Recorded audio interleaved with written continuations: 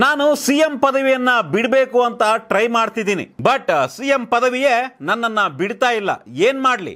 ರಾಜಸ್ಥಾನದಲ್ಲಿ ಮತ್ತೆ ಶುರುವಾಗುತ್ತಾ ಸಚಿನ್ ವರ್ಸಸ್ ಗೆಹ್ಲೋಟ್ ವಾರ್? ರಾಜಸ್ಥಾನದಲ್ಲಿ ಈ ವರ್ಷದ ಅಂತ್ಯಕ್ಕೆ ವಿಧಾನಸಭಾ ಚುನಾವಣೆ ಬರ್ತಾ ಇದೆ. ಸದ್ಯ ಅಲ್ಲಿ ಹಾಲಿ ಕಾಂಗ್ರೆಸ್ ಸರ್ಕಾರ ಅಧಿಕಾರದಲ್ಲಿದೆ. ಅಶೋಕ್ ಗೆಹ್ಲೋಟ್, ರಾಜಸ್ಥಾನದ ಸಚಿವರು. ಈ ಹಿಂದೆ ಡಿ ಸಿ ಎಂ ಆಗಿದ್ದಂತಹ ಸಚಿನ್ ಪೈಲಟ್, ಈಗ ನೆಕ್ಸ್ಟ್ ಚುನಾವಣೆಯಲ್ಲಿ ಗೆದ್ದು ಸಿ ಎಂ ಆಗಬೇಕು ಅಂತ ರೇಸ್ನಲ್ಲಿದ್ದಾರೆ ಸಾಕಷ್ಟು ಕಿತ್ತಾಟ ಇತ್ತು. Ashok Gehlot versus Sachin Pilot.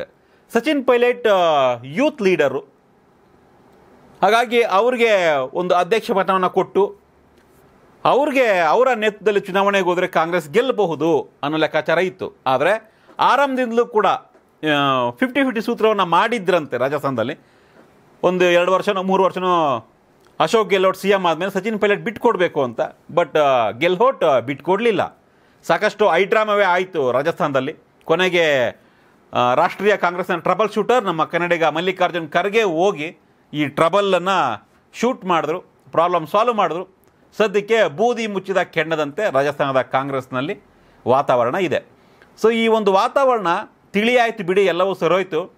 Sachin ಪೈಲಟನ್ನು ಮತ್ತು ಅಶೋಕ್ ಗೆಹ್ಲೋಟನ್ನು ಕರೆದು ಮಲ್ಲಿಕಾರ್ಜುನ್ ಖರ್ಗೆ ಮತ್ತು ರಾಹುಲ್ ಗಾಂಧಿ ಮಾತುಕತೆಯನ್ನು ಮಾಡಿಸಿ ಇಬ್ಬರಿಗೂ ಕೂಡ ಹೊಂದಾಣಿಕೆಯನ್ನು ಮಾಡಿಸಿದ್ರು.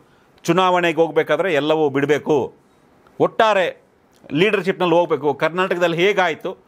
ಆ ರೀತಿಯ ರಿಸಲ್ಟನ್ನು ನೋಡ್ಬೋದು ನೀವು ರಾಜಸ್ಥಾನದಲ್ಲಿ. ನೋಡ್ತಾ ಇರಿ. ಕಿತ್ತಾಡಬೇಡಿ. ಸಚಿನ್ ಪೈಲಟ್ ಹೊಸ ಪಕ್ಷವನ್ನೇ ಮಾಡಿಬಿಡ್ತಾರಂತೆ ಅನ್ನೋ ಒಂದು ಚರ್ಚೆ ಎಲ್ಲ ಆಯಿತು. ಬಟ್ ಅದೆಲ್ಲದಕ್ಕೂ ಕೂಡ ಈಗ ಫುಲ್ ಸ್ಟಾಪ್ ಬಿದ್ದಿದೆ. ಆದರೆ ಮುಂದಿನ ಬಾರಿ ಕಾಂಗ್ರೆಸ್ ಅಧಿಕಾರಕ್ಕೆ ಬಂದರೆ ಸಿ ಎಂ ಯಾರಾಗ್ತಾರೆ?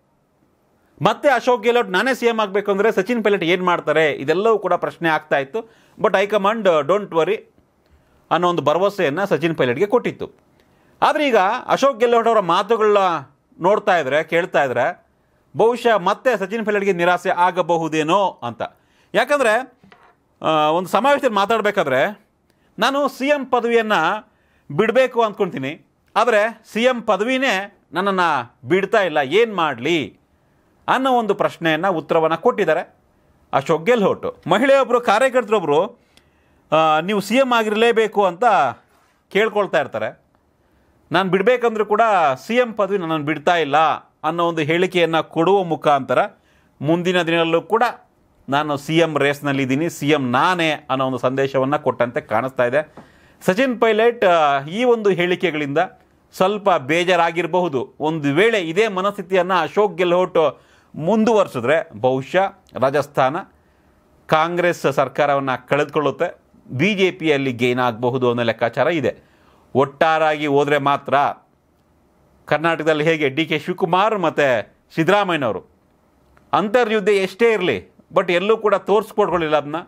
ನಾವಿಬ್ಬರು ಒಟ್ಟಾಗಿದ್ದೀವಿ, ಒಂದೇ ಅನ್ನೋ ರೀತಿಯಲ್ಲಿ ಚುನಾವಣೆಯನ್ನು ಮಾಡಿದ್ರು. ಆರಂಭದಲ್ಲಿತ್ತು ಬಟ್ ಕೊನೆ ಕೊನೆಗೆ ಇಬ್ಬರು ಒಂದೇ ಅನ್ನೋದನ್ನ ಇಡೀ ರಾಜ್ಯದ ಮತದಾರರಿಗೆ ಕನ್ವಿನ್ಸ್ ಮಾಡಿದ್ರು. ಹಾಗಾಗಿ ಕಾಂಗ್ರೆಸ್ ಗೆಲ್ತು. ಅದೇ ರೀತಿ ರಾಜಸ್ಥಾನದಲ್ಲಿ ಆದರೆ ಮಾತ್ರ ಅಶೋಕ್ ಗೆಲ್ಹೋಟ್ ಮತ್ತು ಸಚಿನ್ ಪೈಲಟ್ ಜಂಟಿಯಾಗಿ ಹೋಗಿ ಒಗ್ಗಟ್ಟಿನ ಪ್ರದರ್ಶನವನ್ನು ಮಾಡಿದ್ರೆ ಮಾತ್ರ ಕಾಂಗ್ರೆಸ್ಗೆ ಉಳಿಗಾಲ ರಾಜಸ್ಥಾನದಲ್ಲಿ.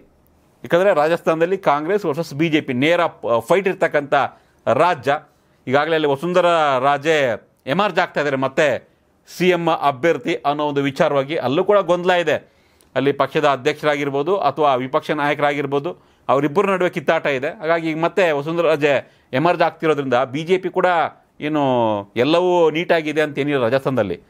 ಕಾಂಗ್ರೆಸ್ ಥರನೇ ಅಲ್ಲೂ ಕಿತ್ತ, ಅಲ್ಲೂ ಮನೆ ಒಂದು ಮೂರು ಭಾಗದ ಥರ ಕಿತ್ತಾಡ್ತಾ ಇದ್ದಾರೆ ಅದನ್ನು ಎನ್ಕ್ಯಾಶ್ ಮಾಡ್ಕೊಬೇಕು ಕಾಂಗ್ರೆಸ್ಸು ಅಂದರೆ ಸಚಿನ್ ಪೈಲಟ್ ಅಶೋಕ್ ಗೆಹ್ಲೋಟ್ ಇಬ್ಬರು ಜಂಟಿಯಾಗಿ ಒಟ್ಟಾಗಿ ಹೋದರೆ ಮಾತ್ರ ಆಗ್ಬೋದು. ಬಟ್ ಅಶೋಕ್ ಗೆಹ್ಲೋಟ್ ನಾನು ಸಿ ಎಂ ಬಿಡಲ್ಲ ಅಂತ ನಾನೇ ಸಿ ಎಂ ಅಂತ ಪರೋಕ್ಷವಾಗಿ ಹೇಳಂತೆ ಕಾಣಿಸ್ತಾ ಇದೆ. ಸಚಿನ್ ಪೈಲಟ್ ಏನು ಮಾಡ್ತಾರೆ?